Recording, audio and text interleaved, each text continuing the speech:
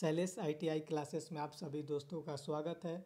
दोस्तों, इस वीडियो में हम सीखेंगे कि आईटीआई का जो सर्टिफिकेट है और मार्कशीट कैसे डाउनलोड करें। तो आप अपने फ़ोन में क्या करें कि क्रोम ब्राउज़र है, क्रोम ब्राउज़र को ओपन कर लें।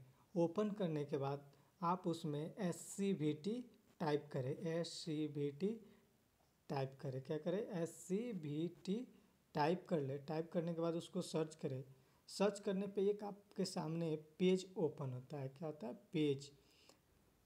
तो इसमें आप थ्री अपने फ़ोन को डेस्कटॉप मोड में कर ले।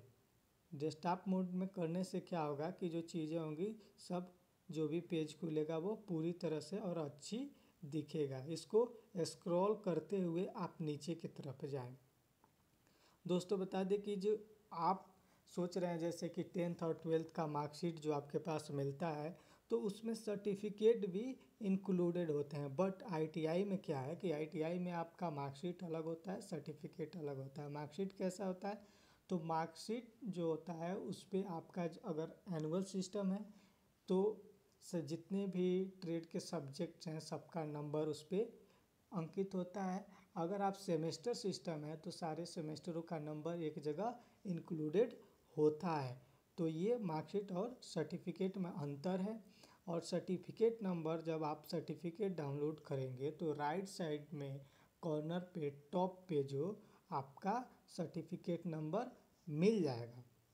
तो आइए इसमें देखते हैं कि आईटीआई का सर्टिफिकेट और मार्कशीट कैसे डाउनलोड करें।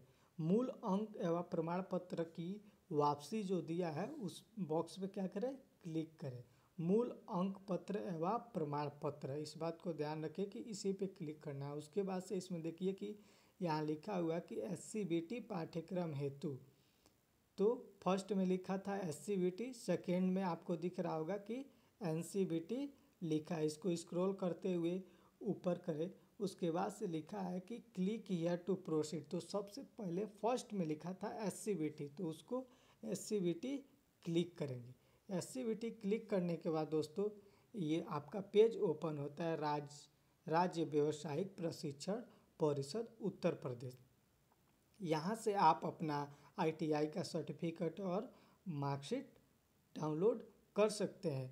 सबसे पहले जो अगर स्टूडेंट आप अपना प्रोफ़ाइल बना चुके हैं लॉगिन कर चुके हैं रजिस्ट्रेशन कर चुके हैं उनके लिए तो इजी है। वो क्या करेंगे कि यहाँ पे आके अपना रोल नंबर और पासवर्ड डालेंगे कैप्चा डालेंगे लॉगिन पे क्लिक करेंगे तो उनका प्रोफ़ाइल खुल जाएगा।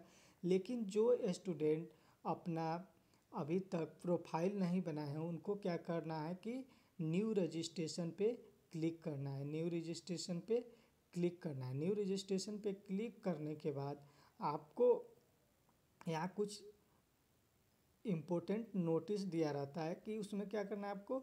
Session number roll number date of birth पे भर के उसको रजिस्टर्ड बटन पे क्लिक कर देना है। उसके बाद से नेक्स्ट करना है। नेक्स्ट करने के बाद जो आप एडमिशन जब करवाते हैं आईटीआई में तो उसमें एक आप मोबाइल नंबर देते हैं। उस मोबाइल पे एक ओटीपी जाती है। वो ओ फिलअप करें। पासवर्ड अपने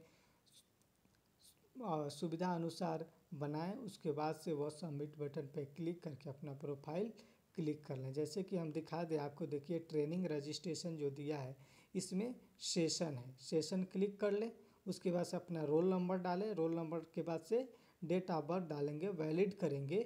तो आपका नेक्स्ट करने के बाद ओ जनरेट होगा। ओटीपी डालने के बाद आप क्या करेंगे?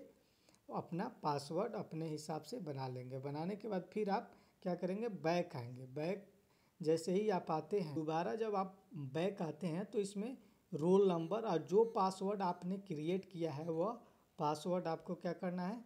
यहाँ फिलअप करके फिलअप करने के बाद ये कैप्चा जो दे रखा है, इसको भरने के बाद जैसे ही आप इस पर ये लॉगिन बटन पर क्लिक क्लिक करने के बाद एक नया पेज लॉगिन बटन क्लिक करेंगे तो आपको यह एक ऐसा पेज ओपन होगा, जहाँ पे लिखा होता है मूल मार्कशीट प्रमाण पत्र की वापसी के लिए अनुरोध करें या apply for the medical leave तो आप इधर नीचे आएँगे स्क्रॉल करके यहाँ पे देखिए लिखा हुआ है view and download E marksheet तो अगर आपको मार्कशीट डाउनलोड करना है तो इस पर क्लिक करके अपना सेमेस्टर सिस्टम है तो सेमेस्टर वाइज दिया रहता है या कंसोलिडेटेड मार्कशीट सभी का कॉम्बिनेशन होता है, उसमें चारों सेमेस्टर का दिया रहता है और एनुअल सिस्टम होगा तो डायरेक्टली आपका डाउनलोड हो जाता है। उसके बाद से आते हैं जो सर्टिफिकेट यहाँ से कैरेक्टर सर्टिफिकेट डाउनलोड करा सकते हैं। यहाँ से ई सर्टिफिकेट जो जिसके लिए आप सर्टिफिकेट नंबर ढूंढ रहे हैं अप्रेंटिस जिस, जिसके लिए आप डाउनलोड कर रहे थे, ये आप इस पर क्लिक करेंगे। क्लिक करने के बाद क्या होता है, आपको एक कॉलम आता है और वहाँ से डाउनलोड करने के बाद आपको सर्टिफिकेट मिल जाएगा और उसी पे सर्टिफिकेट नंबर आता है। यहाँ से आप ट्रांसफ़र सर्टिफिकेट भी डाउनलोड कर सकते ई अंक पत्र भी डाउनलोड डुप्लिकेट कर सकते तो ये थी इसमें डाउनलोड करने की प्रक्रिया। और ये भी बता दें दोस्तों कि ये जो भी ऑनलाइन जो आप डॉक्यूमेंट निकालते हैं, ये वेरीफाई करवा के निकालिए।